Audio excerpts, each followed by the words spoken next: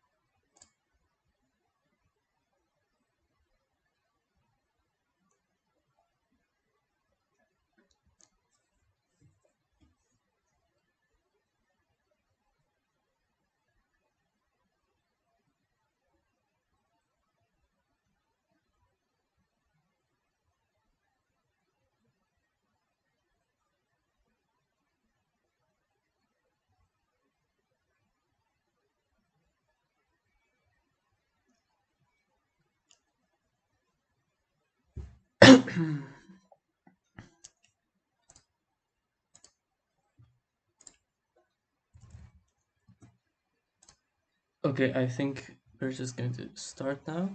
Um, so I have this, we're going to look at uh, basic templates today. Um, so I have this example here, just the basic add function. It adds two integers, very simple. And if you run this, it just outputs 11. There we go. Um, and if we want to say add two float numbers, we could write another function. Just like that, and return a plus b and 5.5 and 6.2 for example. I need to make these floats and that will work as well. Now the problem is this is going to get very tedious if you have to add many many numbers together.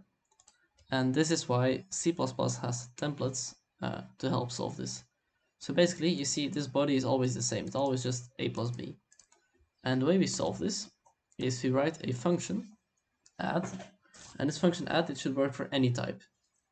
So we introduce that with the template keyword, just like that, and these angled brackets. And so we put in here a type name, t. So basically we tell the compiler, we just uh, have an arbitrary type t here, and then we just write our function, it returns a t, that's just any type, and it takes a t and another t. So basically, and then return a plus b. So basically this is a function, a function to add two numbers of any type and we just call it t so we can refer it uh, just like that. And as you can see it already uh, compiles here so if you just run it then again same thing we'll get 11.7 and we can do the same. We can also print uh, 4 and 6 for example and that'll just work uh, just the same. So that's like why we need templates really. Um, and so basically you can also um, specify which type to use here. So basically we call add for the float type. So we need to uh, pass in some floats in, just like that. So then we call add with the t equal to is float. So we uh, pass in two floating point numbers and we get a floating point. Uh, the reason we can also not specify this is if the compiler is smart enough to figure out that we pass in two floats, so we can, uh, the compiler says, okay, so this is floating. Uh, that's called template deduction. Um, another thing, uh, you can also add two numbers of different types by just adding a comma and another type over here. So for example, we call it u. So then we can add the t and the u together, just like that, and add four and a half and four. Now, there's a problem with this, but I'm not going to go too much in depth about this. Uh, you can solve this with some type traits and stuff, but basically you'll always return a t here, even if it doesn't, the result doesn't fit in a t, but that's that's fine for now, just to demonstrate that you can add multiple different types in here and it will just work. Um, so you can also uh, template other things. So you can add a template to a function. But suppose we have this struct value or something, and we store an integer in there like that. You can do value like that. But if we want to use the value struct for something else, then we have to type it all over again uh, with another name. So this would be value int. We would have value floats etc etc just annoying so we can also introduce a template here and say template type name t and then we can store a t as a value in here. And as you can see the compiler errors here because we need to specify which t to use. And in this case we'll try int. And we have to rename this. And there we go. So this syntax is actually maybe familiar for someone who's worked with st standard library before, because if you use, for example, vector, it has vector, and then the t parameter that we have here. So basically, if you would declare a vector, it would something be something like t and then a class vector and it has a t for data and a size and and other stuff like that. So that's basically how you would like make a very basic vector that can store any type. So you just have this this type name t here, and you can use the t as if it was any type uh, later on. Of course, if I try to use t here, um, it won't work anymore. Like the t stops over here, um, just like that. Uh, and another cool thing with templates is you can not only you can pass types in there, just like like this, but you can also pass values to a template. Um, and uh, to show this, I'm going to write another um, thing uh, from the standard library, which is array. So if you just use this, uh, we have to specify a type and a size, for example, 6. And this array is basically the same as if I would write a raw array like this. Um, so yeah, you can see that this value is also inside the template. And so how we do that? We just uh, type name t and then a another one with the type size t for example uh, the amount of values, and then we just do struct array t values n. And you can use this n variable in here. Now for these there's a few restrictions. Uh, for example, the value has to be known at compile time, so I cannot do something like cin uh, input the value and then do array int v, that won't work. It has to be a compile time value. And also uh, it cannot be like a custom class or a float number. You can see float doesn't work. No float point type uh, template parameter is non-standard. And if I have my own struct in here, that won't work as well. Uh, however, for C++20, there is a proposal to change this, I think. So you can have um, custom structs in, in there.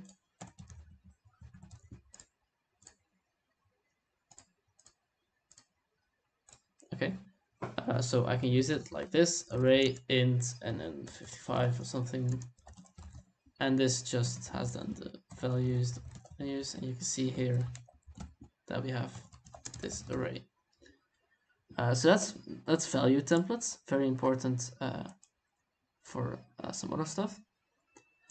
And then the final really important thing is template specialization. So basically if I have this function uh, which returns if two values are equal. So I can return a equals b, just like that. And that works fine if I do int a and b equals 6 and I print equal ab, that'll obviously print true. Uh, but the problem is, uh, if I want to use this for floats, float a equals uh, 3 and float b equals 2 plus 1 and I then try to output this okay so that is actually true um,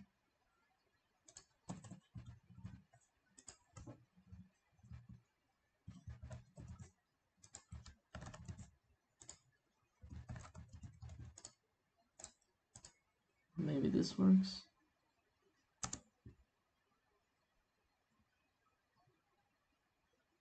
That's weird. Um, if I try this with bigger numbers like 10,000 and something like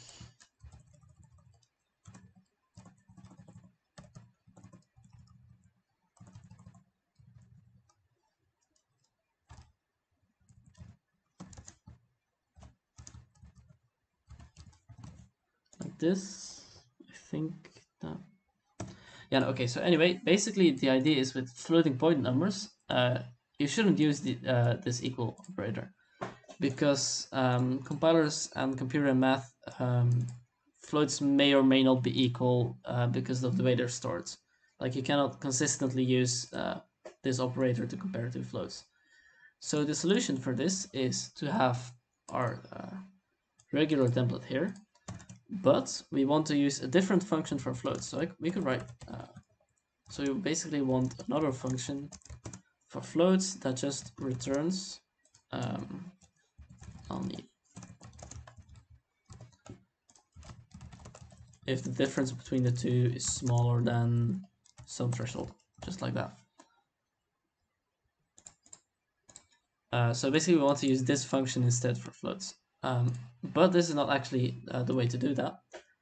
Uh, we want to make this function a specialization of this function. So the way we do that is we add template over here, but without the type name. And what we have to do then is we have to specify which one uh, we have to specialize. So now if t uh, is float, then it will use this version. And if t is not float, like if t is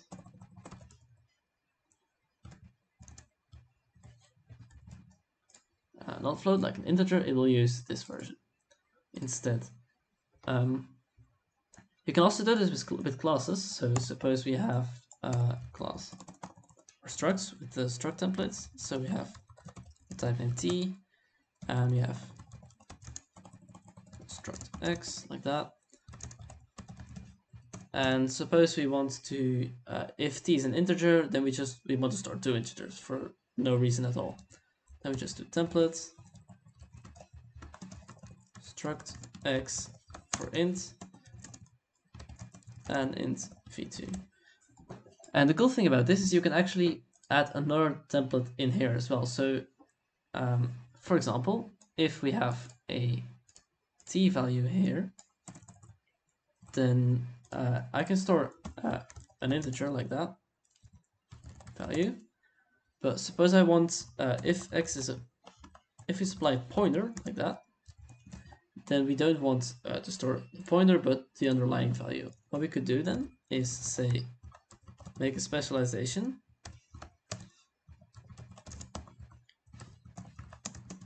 like that. So now if we uh, if it matches if the, uh, the template parameter here the int pointer matches uh, t star then it will use this version instead. So you can see that uh, v and v dot value, if you look at it, it isn't a regular integer instead of uh, the t pointer, which it would have been if you used this. Um, the problem is though, uh, this is called, called a partial specialization, Well, if you would have like nothing in here,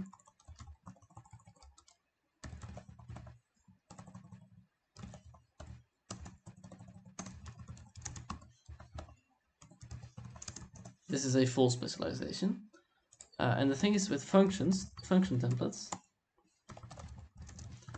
uh, like that, and if you have another one, um, if you try this the way we did it before, that won't actually work because for functions you cannot use the partial specialization. You can do it for uh, structs and classes, but not for functions, for reasons unknown to me, but yeah. It's just annoying, really, my opinion. Okay. Um, if there's any questions, just uh, drop in chat and I'll try to answer.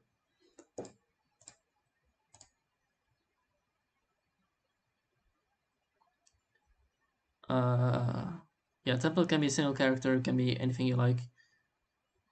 Uh, yeah.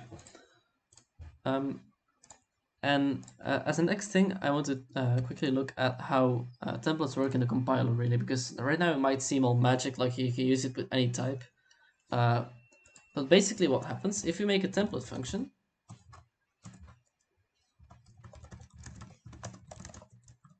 like that, I'll just use a very simple one right now. And if you then, uh, it just defines really an outline of the function. So you could have TA, and do something with it. I don't know, like print it.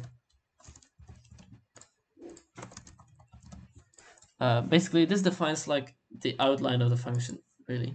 And whenever the compile, so it um, it takes this template and it stores this. It's somewhere. The compiler uh, comes across this in the source and sees, oh, there's a template function. Okay, it stores it somewhere in some database. I don't know, and it continues. And then when we when the compiler sees uh, this f for int, it just goes into that database and it is like, oh, okay, I found this template here, which is f, and it just starts uh, making a full copy of that function, but then with the integer in here, uh, and just, just then it just replaces all the templates. Uh, and after that, it goes to check like does it does actually compile this template if I fill it in. So that way you can you only get the error for uh, if a template doesn't work. Like say I have um, a template for multiplying two things.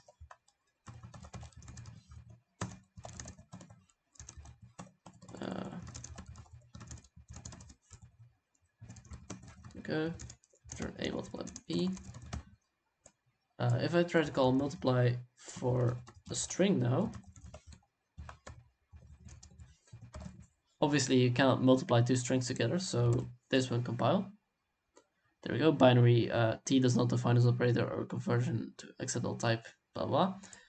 So basically it says uh, compiler comes across this, it starts to instantiate this template, it's how that's called, so it copies it, the right side string everywhere, string, string, and string, and then it says, oh, I can't multiply two strings, so it gives an error. Uh, obviously, if you would use integers, 3 and 4, it would just compile. So for every different uh, template you give to the function, it makes a whole new function. So that's one of the reasons why many people think like, oh, if I have many templates, then uh, my code will be extremely large after compiling. Uh, yeah, maybe, but it's compile time, so it's fast. Um, and one of the things, um, and that's also very different uh, from with normal functions, if I have a, will uh, just add a new source file, um, there we go, and a new header file as well.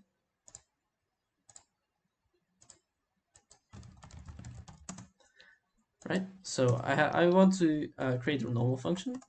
So I'll just do this, um, declare it in the header, and then implement in source, like f, okay, include the header,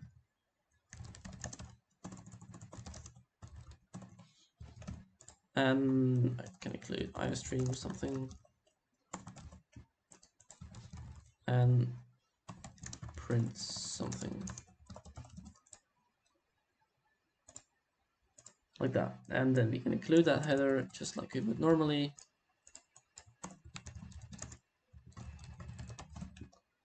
And call f no problem. This just compiles there's no no templates involved.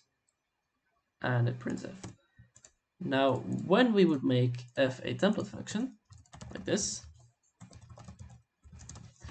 and we want to give it something to print, and then I think I'm smart, so I put it over here as well,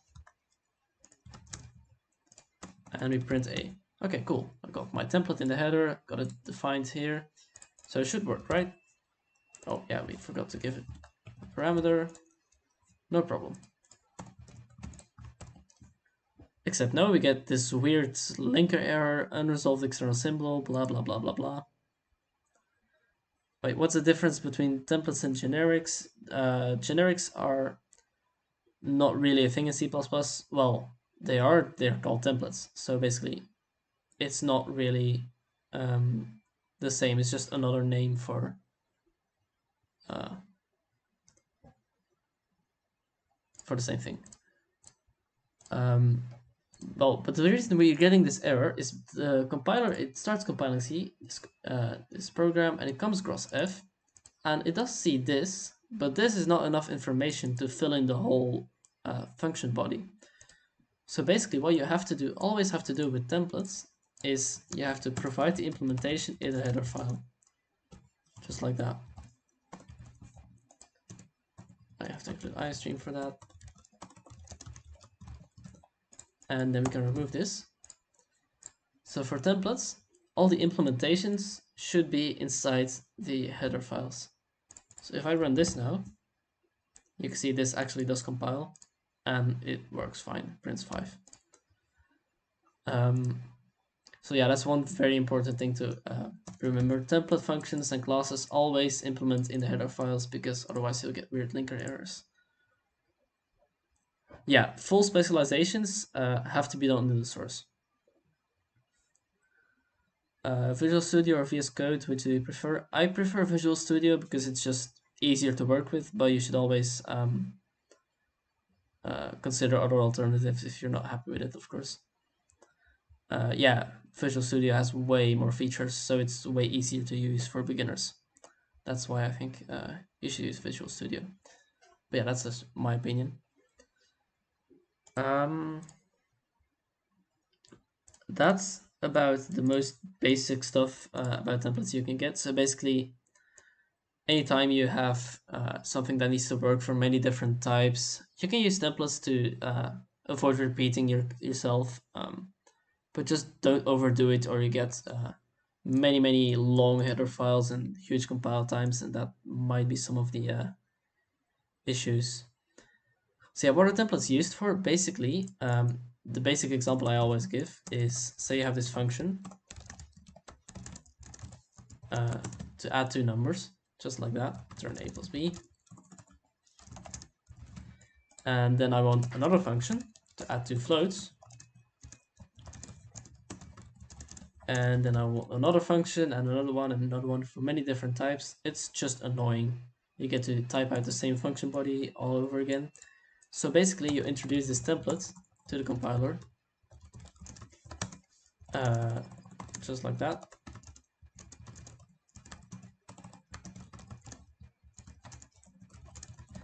and it just says okay this is a function add. It takes some type t. We don't know yet what type. It take uh, it returns that t and it takes two t's and it just adds them together. So basically you say this is this is any type t and do whatever uh, you want with it you want with it and then we can just call add uh, with two integers or we can add call add with two floats and it will just uh, work for all those types uh, automatically. Yeah, basically. Uh, are there any more uh, questions?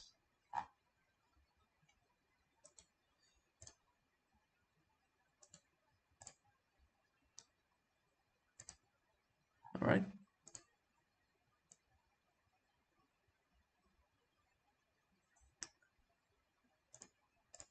Uh, so when you create a linked list using node struct, how do you do that with templates and also why does the node? Okay, first a simple question. Uh, what's the difference between a HPP and a CPP file? Um, HPP is the same as uh, just.h, um, it's just a header file. So you include that and you don't typically write any implementations there. And the CPP files are the files that are actually compiled by the compiler. The compiler just copy pastes all these files in your CPP files really. Um, yeah. So when you create a linked list using a node struct, how do you do that with templates? Basically, uh, so we want a template type name t class linked list. So we're gonna use this like linked list int list, just like that. Um, and then this uh, we need the node struct as well. So we'll just create the node struct, and it has a um, t as the value.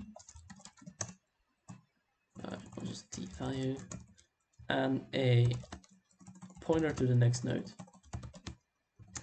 Because what a linked list really is, is just um, a whole bunch of, uh, yeah, the first node. So it just, uh, the first one, and the first one points to the next one and next to the next, etc., etc. So you keep um, you have like a list of links that just link to the next one every now and then. So this is the, the type T and you can use it uh, down here. That's like the basic stuff uh, for a linked list. Yeah.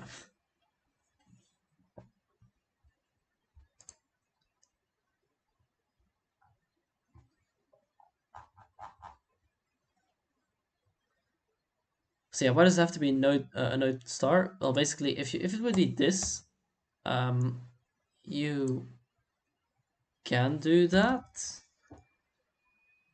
but the thing is that um, now you don't really get a list of nodes, but you just get a node storing a node, storing another node, storing another node. So you get like a tree going down really instead of just a linear uh, list of nodes. But it would maybe work. But yeah, now just one node stores another node, stores another node, stores another node. Uh, and also, I don't think this compiles actually. Okay, it does. Whatever. Um, so yeah, basically, if it would be um, if this, then uh, one node stores the next node. Um, so you have a node in a node in a node in a node in a node, etc. Instead of having nodes linked to the next node link to the next node, link to the next node, and link to the next one, etc. Uh, and also, if you store this, these nodes inside each other, then like removing a node in the middle of the list becomes really annoying because if it's a pointer, all you do is you just uh, reassign uh, the next one of the previous nodes and you delete the, this one. Uh, but if the nodes are stored inside each other, you have to like uh, rework the entire list just to remove a value. And that's not really the point. Yeah, I thought that too, but apparently it's either Visual Studio being bad or uh, or it might actually uh, work anyway. I think if you try uh,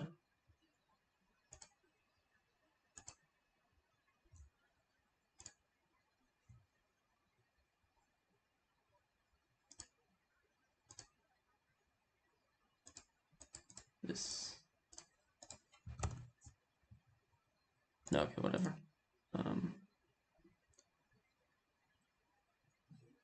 uh, well, these nodes are basically just, um, might be for another lecture, but basically um, a linked list. The idea is you, uh, this node just stores a value and the next value. So it's like a, uh, a list of uh, things really, and they, they point to each other. Um, it's not really for for this lecture, I think. So well, we might uh, discuss it in another one. In another one, uh, if we talk about data structures.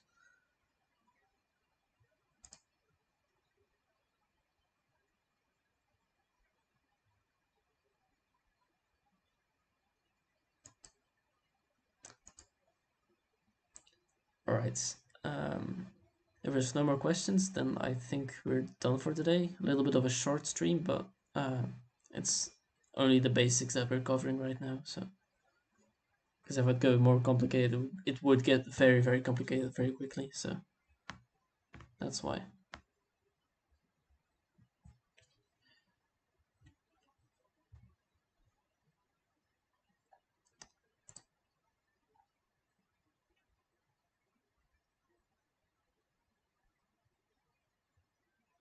Yeah, I thought it would be illegal indeed. Uh,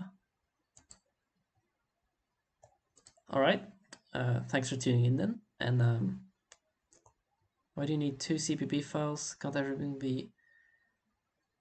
Um, yeah, could be, but then you end up with like uh, really, really long compile times, and you generally want to uh, split up stuff as much as you can. Well, not as much as you can, but as much as makes sense. For a small project, you can just put everything in one CPP file and it just works. Uh, but yeah, for a very small uh, project, you can use one CPP file.